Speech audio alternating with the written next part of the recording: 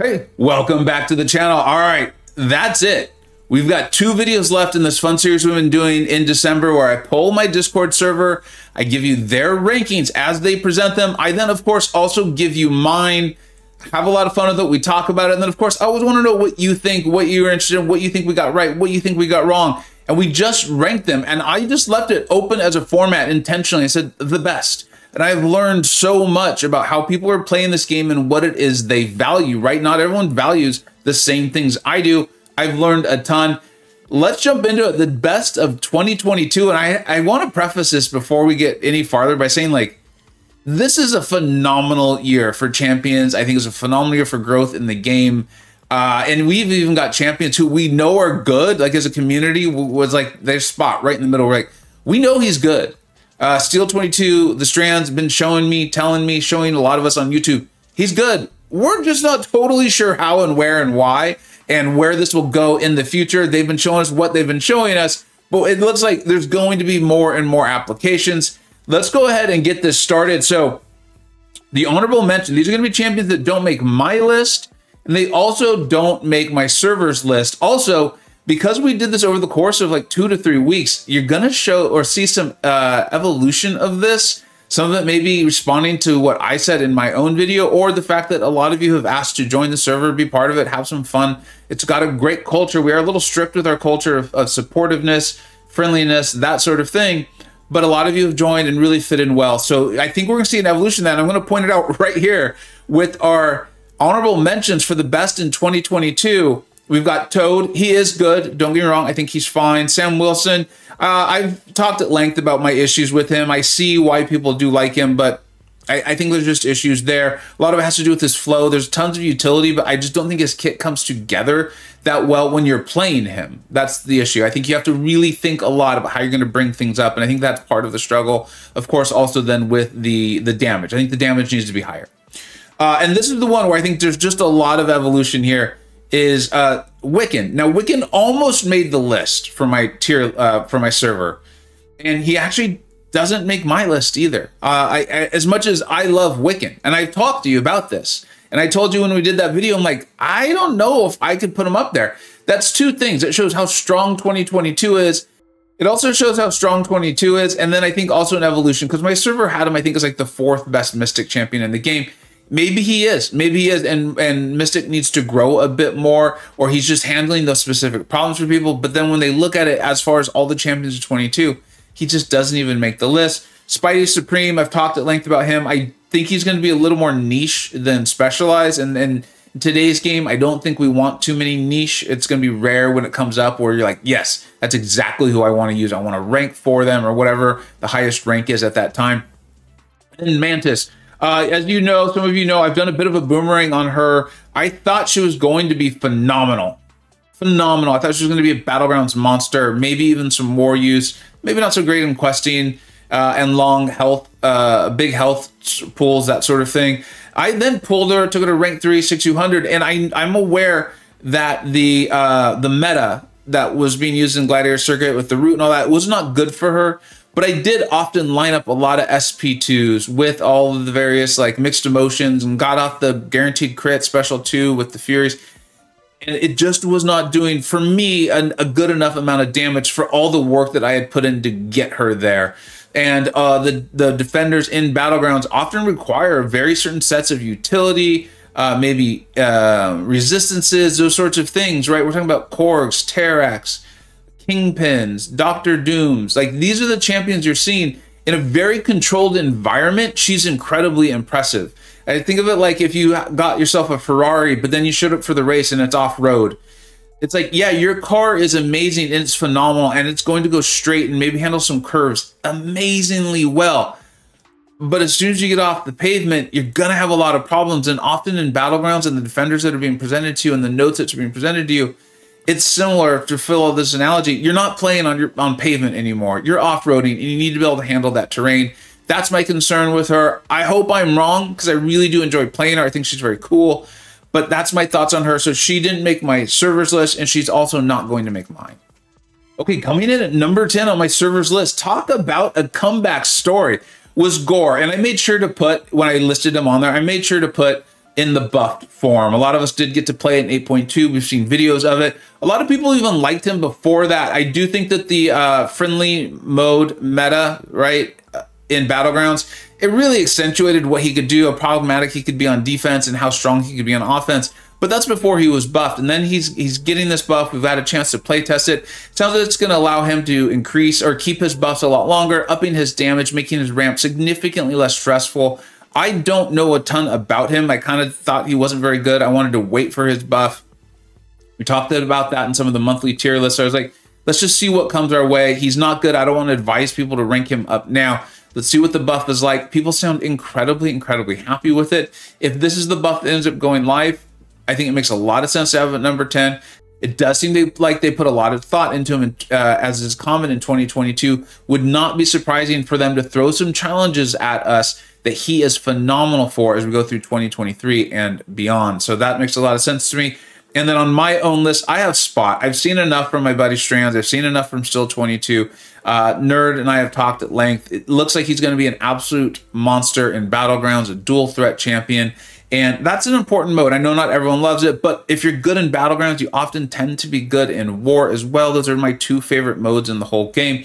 And then typically you do find uses for them in story content and questing like that as well too. So we've covered almost the whole game now. He is unique and so the fact that players like steel and strands have already found uses for him and ways to play him leads me to believe that as time goes on and dll did kind of predict this in his video that there will continue to be applications. I'm very excited about spot and he's probably my most wanted pull as we look to the next featured crystal here in two months Let's go ahead and look at my server's number nine champion. Okay, the number nine best champion, according to my server, is actually Infamous Iron Man. I think he suffers a little bit from, you know, the same thing that uh, Wagnito, White Magneto, Wags, Posh suffers from, in that they have a namesake or a similar character model who's just dominant. And as a result, it often feels like you're comparing those two, even though you really don't need to. There are two separate champions. You can rank them up, both up. You can play them both. And in this case, Infamous Iron Man is tech and regular Doom, Doctor Doom is mystic, and they do different things. That being said, regular Doom is so incredibly powerful, and plus, Infamous Iron Man was the is the Prestige King and a combination of uh, Iron Man and Doctor Doom, two of my favorite characters from comics, the you know MCU, all of that. So I think it makes a lot of sense. He came in with massive hype, and it would have been almost impossible to live up to that. I did pull him. I went for him. I got him. I pulled him. I do really like him. And I know that there are rotations involving like the SP3 and things like that that can produce even bigger damage numbers.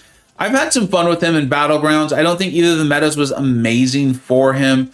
In War, I think we're still often assigning Nimrod. That's more of a Nimrod problem than it is an infamous Iron Man problem. So I also don't think Kabam made this champion, made him the Prestige King to let him just sit there he's actually going to be the eighth best champion on my tier list. And a lot of that is projection. I think, you know, if I had to pick just one champion to have for what I've done so far in 2022, I would pick Wiccan over Infamous Iron Man any day of the week. But I don't think you make this champion. I think he's incredibly well made. I don't think you give him the prestige he has and not create roles for him. I think we're going to get the next feature crystal, which he'll be in. More people will play him. More content will come out and infamous Iron Man, when we look back at this, when I'm going to look back at this in June of 2023, I would not be surprised if he's a lot higher the list or if we're at least talking about him in a significantly more positive way. As far as my number nine champion, I actually have Titania, but we'll talk about her when she's on screen in the next flip. Okay, my Discord server had Titania coming in at number eight. We've talked about her at length uh, on this channel. Somehow she's been someone, despite me not doing much video on her at all, I've talked about her quite a bit, mainly because she's been used to kick my butt in Battlegrounds. And I also said in some tier lists, when I was like, I'm not sure what the role is for her yet, but any champion that applies that many debuffs can get that many passive furies going and then can go indestructible, unstoppable, and unblockable at the same time. There's gonna be a role for her. And then it felt like within days, Karate Mike was using her solo EOP bosses, and then within weeks he was using her to kick my butt in a battlegrounds tournament. I'm being I'm seeing her now being used in war. We had talked about her, the fact that she is buff immune. She's not a Spider-Man 99 replacement, but they think of it like a Venn diagram where they do cross over in that buff immunity. That's a big, big deal. Indestructible, unblockable, unstoppable in one package that hits as hard as she does and lands as many debuffs as she does. If you spec into mastery, that is reducing the damage you're going to take back should you make a mistake or things like that. It's going to reduce that significantly. I think she's just an example of how great champions are being made in 2022, that she's actually only the number eight champion. I have her coming in at number nine. A lot of that is just due to newness. I could see her rising up the ranks, but as I look at the ranks of 2022, it is a stellar, stellar class. Let's go ahead and jump to the number seven champion on my server's list. Okay, this isn't really a shock, I don't think, because I'm aware of the community's perception on him. There's people who just love him like I do, and then there's a lot of people who really just don't like playing him. If you don't like playing the champion, that's one of the things I always say when I give rank up advice. If you don't enjoy him, don't rank him because you're never going to play them. So I, I, get that he's number seven. He does actually represent a bit of a tier jump. He had 136 points. Uh, uh yeah, 136 points to Titania, who had 90. So there is a bit of a tier jump there. So keep that in mind. That being said, I have him much higher. I'm going to have him up at number five. You know me. I've talked at length about how great he is, right? We'll go as quickly as I possibly can here to uh, give a synopsis of it. But basically, he can get up a slow very, very easily. That slow makes it so he can't miss. He also has a relatively powerful wither that if you get him awakened, he can get up to six of them. If you put points into dexterity, he does it exceptionally well. He, he his ramp does take a little while, kind of, but if that's only if you look at it as like a progressive amount of health bar being gone, because what he really does is he can create these huge explosions with his whiplash detonating them. And if you're unable to do that, he still can whittle down health pools, right? But the SP1s and the medium light medium uh, explosion of the whiplash, I've done quite a few videos on him. I did get out an essentials video. If you're like kind of confused, why does Vega like him so much? Make sure you watch that one. Uh, I think it does a really great job of covering it. I have used him in War 2. I think he is phenomenal. I am going to recognize though that he is not everyone's cup of tea and that he can be slightly difficult to play. I actually have him as my number five rated champion, and I do have him kind of like a tier list above or a tier above where my own servers got him. My number seven champion on the year is Omega Sentinel. She's a really tough one to uh, grade and talk about, but I will talk about when we get to her on my servers rankings. Okay, my server had Omega Sentinel as a number six champion. Her and Quicksilver were almost tied. In fact, they basically were. So just consider them kind of being the same place. Now, one of the things we talked about on the server, though, is kind of like how we had Gorr being buffed, is Omega Sentinel being fixed. It feels like she's constantly in a state of being broken. And there's some really smart players, I'm not going to quote them because I don't know if they would want me doing that, who say, like, her pause mechanic actually doesn't even work properly as far as the various ways of pausing or refreshing the debuffs. That would be massive for her. One of the biggest complaint, and I understand it, I think it's legitimate as far as like if you were somehow going to make her better, is it can be a little bit stressful to keep her debuffs up, especially in certain matches where you're really uh, wanting to go quick, like battlegrounds or something like that. But as my friend PWF from For Loki and you know BG2 Planner War Leaders uh, made it to the knockout stage of the Vega Battlegrounds Championship that we're running right now, phenomenal player has shown in matchups like that, if you really need to, you can just make sure you get your debuffs up, go to your SP3. You're going to land all those incinerates or Plasmas, depending on what uh, class you're facing. And then you can just end your combos in a light. He's used that to take out Doctor Dooms and things like that when the uh, I forget what the global is called, but he really needed to utilize his heal block, and he just melded the champion. So she's phenomenal. She's great. I think she lives in the shadow of Nimrod a little bit, but I think that only matters if you're really considering her just a mutant hunter, and she's a lot more than that. She does get a little more powerful against them, and, and I respect that. I get it, but She's incredibly, incredibly tanky. She doesn't have a large health pool, but she's incredibly tanky getting up all those armor ups. And she's not working properly right now in the game. It's very frustrating. I actually tried to use her to take out EOP Havoc, and I couldn't because she kept losing her armor ups due to the auto block triggering when it shouldn't have. Uh, but I think if Kabam gets her right, and if especially if the that pausing, uh, refreshing of her debuffs gets fixed, like I, I think it's supposed to, I think you're going to see her move way up in these general rankings. She is a phenomenal, phenomenal champion. I, I really do like her. And then as far as my own personal number six, and we'll talk about her when we get to her in the servers uh, ranking, is Valkyrie. She's obviously fantastic. And I do think we're about to kind of make a bit of a tier jump as far as uh, rankings are concerned. Okay, coming in at number five for my servers rankings is Valkyrie. Now she's only 146 points, where Quicksilver and Mega Sentinel are like right around 136. So it's not a massive tier jump, but I personally do feel like there is one here. One of the things that's most interesting about her is she, I think, burst on the scene again from now like a champion like Bitter Steel and, and others who've used her, but Bitter Steel really did a phenomenal job showcasing it quite a bit. Was the battle, Battlegrounds meta and you know she could keep earning power because of the rich get richer node. Now the fact is though is that just maybe accentuated her damage a little bit, but I know that like Bitter Steel showed in other metas, her still doing phenomenal damage. I think it made it so you just couldn't head into the block all of the time. You kind of though that seems like how she's designed to be played, or at least it's a it's a style. There's a lot of her kit that's not just hitting into the block the thing I love about her and why I think she might be a little bit timeless, and again, it's just going to depend on what Kabam throws at us and how hard those challenges are with other champions that aren't like her, is she can just get around nodes and defenders. You can just get around it. If you only have to hit them in the block and you can do good enough damage and she does plenty of it, that's a value that's almost impossible to take away. You know, we talk about champions like Archangel and things like that where they can just turn off nodes. Well, she can just do the same way in the sense that she can just get around it. It doesn't matter often. So I think that's going to be almost like a timeless value. I really do love her. I will eventually be taking mine to rank four, and I was so excited when I pulled her. I have her as number six, but like I said, I feel like that's a bit of a tier jump, and I'm placing six and five, and you'll see as I go in my own personal rankings above the Omega Sentinels, Infamous Iron Man, Titania, and Spot. For me, there's just currently a very obvious and visible difference. It doesn't mean it might not get blurred as the game progresses, but that's how I have it right now.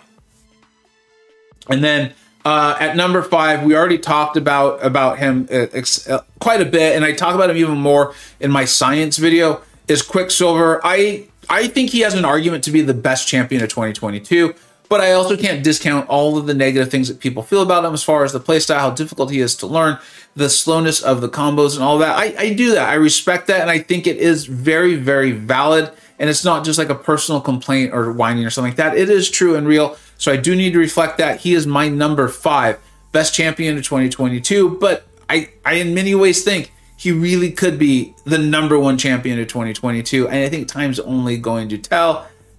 I love him, but you already know that. Coming in at number four in my servers rankings was actually Scorpion. This one shocked me. I was fully prepared for him to be number one. Uh, I think they had him at number one in the science class. So uh, this just shows you too, like who's voting, how they're looking at things. And then it's also tough, like having gone through this this much in this month, measuring champions against each other. I think it also matters like who's on the side of them, who you're measuring them against, and what challenge you face that day, maybe even. Also, new people joining the server can influence the vote quite a bit. Um, and there have been a lot of people who've joined in the last month. Scorpion comes in at number four. And the other thing I think to mention is four, three, and two. Number two champion had 298 votes. Scorpion had 290. When there's that many votes, eight votes really does not mean very much. In fact, it's not even eight votes, it's eight points, which could be uh, a very, very, very tiny difference he's amazing, right? We we've talked about him so much, uh, and we went into real detail on this on the science list. But I will just say, you know, people ask, does he need to be awakened? No, he absolutely does not. There's some nice niche utility about blocking uh, unblockables. I think when he has his taunt up, which is cool, and I've used that in war before. And the other part of it is really nice if you want to use him like in battlegrounds or something like that. You can land your SP2, get the petrify. It'll help you end at 100% health or a higher percentage health than you otherwise would have shifting immunities, shifting damage sources. He is phenomenal, and you are going to see him when we talk about the just the top champions in the whole game uh, as it stands in 2022. So he's definitely going to be there. As far as my number four champion for the whole uh, for the whole year of 2022, and this feels wild to put him at number four, but I had Quicksilver number five, so you know that just shows you how good this year is. Is I have Galan. You know I love Galan. I was one saying look, Quicksilver crystals with Galan. I actually want Galan more. And that's because, though, I think Galan's just so dominant in war scenarios and in battlegrounds. That health pool is just so phenomenal for him. He can handle so many things. I, we talked at length about the difference between generalists and specialists and niche champions in this game uh, on this channel, right? And I've talked to you about how much I'm wanting more and more specialists. he almost blurs the line between generalists and specialists, and that shows you how strong he is. But he is great in his specialty, and then he is strong in other places that maybe he's not exactly designed for. But boy, is he amazing! It doesn't, you know, the the BG meta that was available when he first came out made it accentuated him, made it a little more eye catching. I know a lot of people got worried he was going to be nerfed, but I really meant it when I told you so many times. I was like, I'm not worried. I'm not worried because I think this is exactly what he's designed to do. He's well suited for the game as it is now and where it's headed. Um, and so, yeah, I have Galan number four. I'm so excited to talk about Galan. I forgot to wait till we bring him up on screen, but I did the Galan speech. So uh, I have him at number four. Let's jump to my server's number three champion. I just love Galan. okay, number three champion for server also shocked me. I was prepared for it to be Scorpion 1, Rintrah 2. Like, I was 100%, I would have almost bet on that. Um, he is amazing, right? I told you in some other videos when we were doing Mutant, I'm running out of superlatives and adjectives. If you have some other good ones, let me know. But he really is fantastic. We've talked at length on this channel about the emerging, uh, evolving relationship between mystics and cosmics and how neutralized champions I felt like are becoming more and more important in this game as they uh, as Kabam works on decreasing, I guess, let's say, the prominence of nullifies and things like that. But it's really nice because it's just spreading everything out. That's why I like it. It's giving other design spaces and things for us to do, and we're not just bringing Doctor Doom to every fight uh, that requires anything a Mystic might do.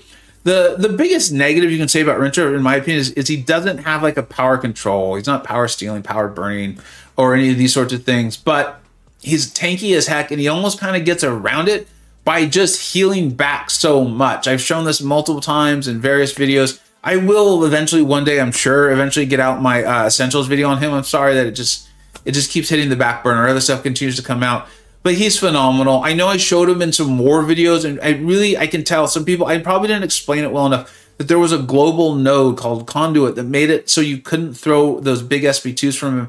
And I know a lot of people are like, he's too slow, and you, why are you going to the SP3? And I was like, ah, I didn't explain that well enough clearly, or, or maybe people just don't listen, and that's fine.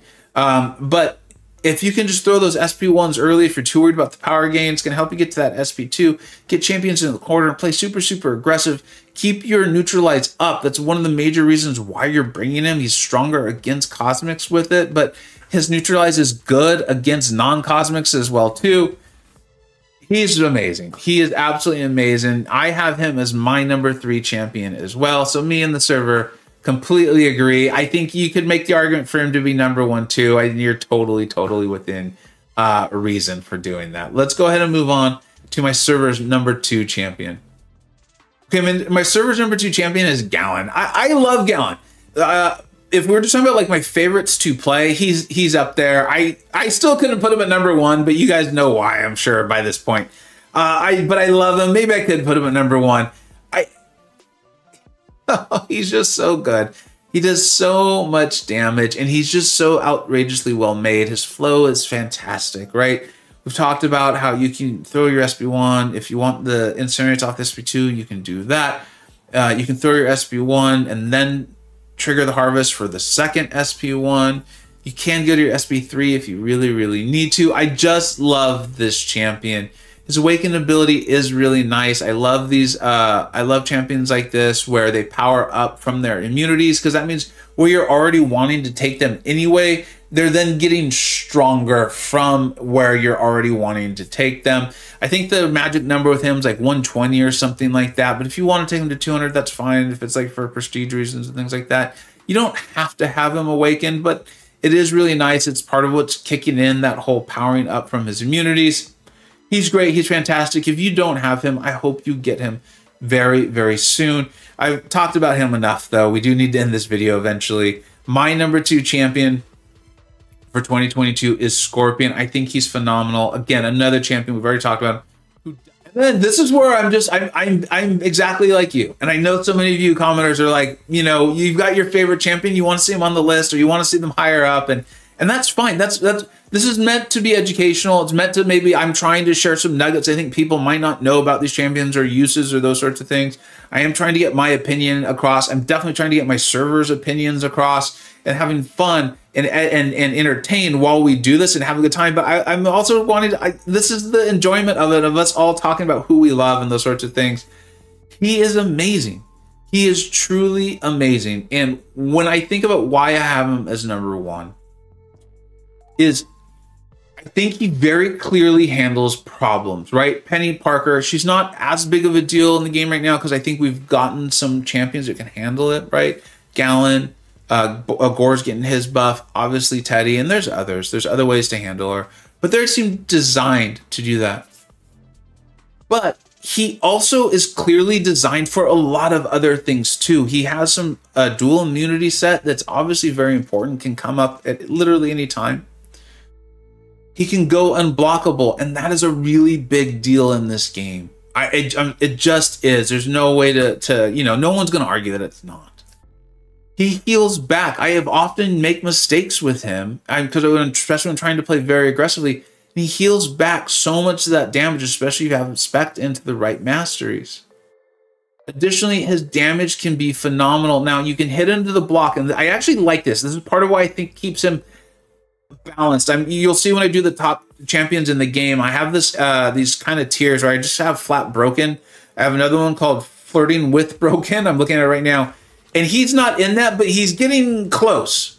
And I really love this. If you look at the signature ability, this armored penetration for each pierce buff, I think if he was, if he then never went unblockable when hitting into the block, I think he'd probably be broken because he would just be dominating in so many different ways of playing, and he could just sit there and wail on the block like a Valkyrie and do too much damage. I love that he actually eventually goes unblockable. It's a pain to deal with on defense, which, oh yeah, he's also a phenomenal defender. So he seems exceptionally well made for handling problems that they've just recently sent us.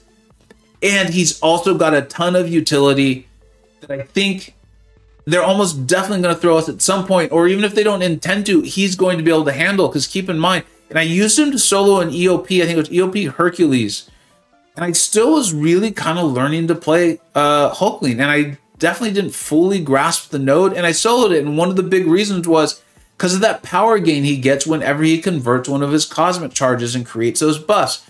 So it's not the power gain of, let's say, Hyperion, but it is substantial and it just naturally happens by playing with him. So his flow is also amazing, meaning just he's well made, but also you just play him and the good things keep happening. I think he's going to be very hard for them to slow down but I also think he's in that sweet spot where they don't need to try to just counter him. He's not breaking the game. He's just maybe getting his toe near that line. He's phenomenal. He's amazing. He's my favorite champion of 2022. I'm I was genuinely happy that my server had him as the number one. He's gonna show up in the top champions in the whole game. Those of you who've pulled him, I know I made all those videos early. Some people were like, I don't know what you're talking about. You're a moron, whatever. And those other people were like, I see it, dude. And I'm so excited to see so many of you out there with your Teddies, with your Hulklings. That's his name, Teddy. Uh, with your Hulklings, rank fours, high sigs, unawakened, rank threes. People celebrating, showing that they've pulled them. It just feels good because I know we all enjoy this game. We like doing, uh, doing well in this game and beating the fights that they send us really does feel great. So let me know what you think we got right. Let me th- know what you think we got wrong. Ultimately, me and the server definitely agree on the number one champion. And for the most part, we had our tiers pretty much in alignment. So it's not really a shock. Banner stellar year for the game in 2022. Really looking forward to re- uh, checking in on this though in six months, seeing what's evolved. I'm pretty sure Hulkling's still going to be at the top, but who has gotten closer to him? Thank you so much for watching. Take care. I hope you either learned something we're entertained, or even better, a little bit of both. Don't forget to like, subscribe. Thanks so much for watching. Take care.